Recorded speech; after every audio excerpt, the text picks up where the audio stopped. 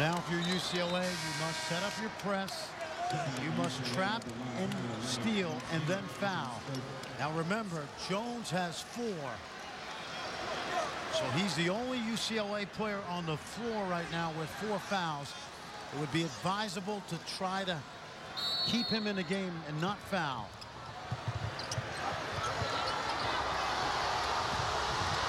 Oh, Honeycutt collects it. Now you have to shoot the three. Honeycutt for the tie. Got it! Wow!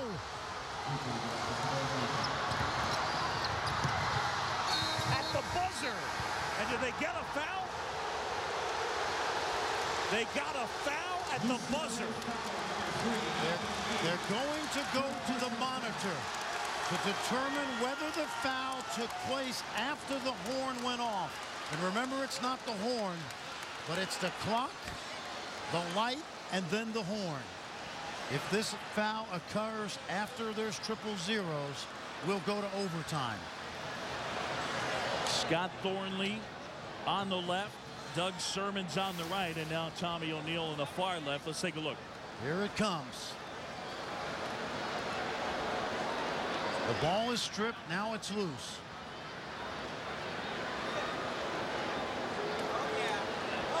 Well, I think it's before the triple zeros, John.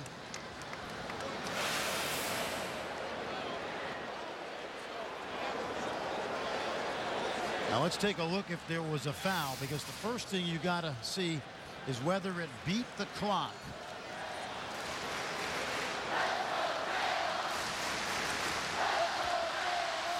You know, John, it's a foul. I mean, you hate to say it, you hate to have a game end like this, but in my mind, it's a foul, and a foul is a foul in the first minute or the last few seconds.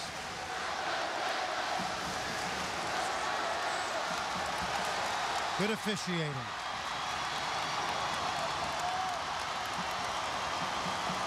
Tyler Honeycutt at the other end. What a huge three. What a great night. Well, he rose up from NBA range. They didn't want to foul him. And boy, has he been terrific. And here, here's the play, John. The foul occurs before the clock hits triple zeros. And then the reach in.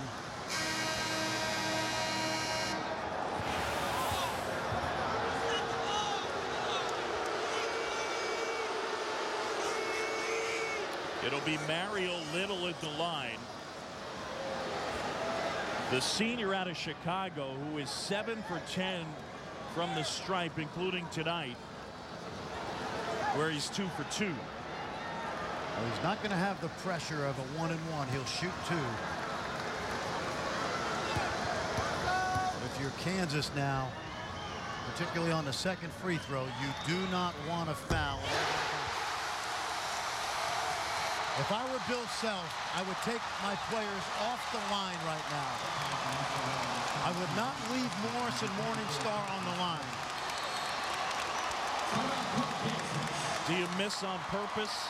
That's funny. We had this conversation today in the office because of a play that happened last night in the Virginia Tech game when uh, Virginia Tech could have gone up four if the guy only makes the free throw. But yes, UCLA has no timeouts. You have to miss, but you have to make sure that you hit the rim when you miss. Again, down three and Honeycutt from deep to tie.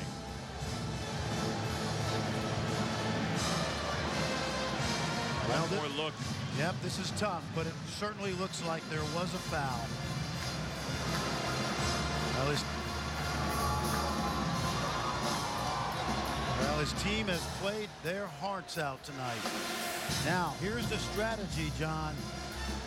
It behooves you to miss the free throw because if you go up to UCLA can throw it length of the floor, okay?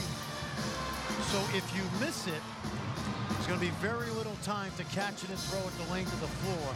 But Mario Little must hit the rim on the miss. They're about to check Jeff Withey into the game. I'm assuming That might mean that they're going to make it. To have him go on the ball. I wouldn't make this because uh, it's going to have to be a three-point shot. So one being up one or two doesn't matter. There's the miss. And the streak lives on here at Phog Allen Fieldhouse. 64 in a row in the most unlikely way. Bill Self's team escapes with a win over UCLA by a point. Bill Self told us today that sometimes early in the season when you have a really good team, adversity makes you better. It did today, but credit UCLA because that team played 40 minutes of solid basketball. Well, again, our final number four, Kansas wins it 77-76, 64 straight wins at home for the Jayhawks. Up next here on ESPN2, it's Sports Center. This has been a presentation of ESPN, the worldwide leader in sports. For Fran Fraschilla and our entire ESPN crew, I'm John Sciambi. So long from Lawrence, Kansas.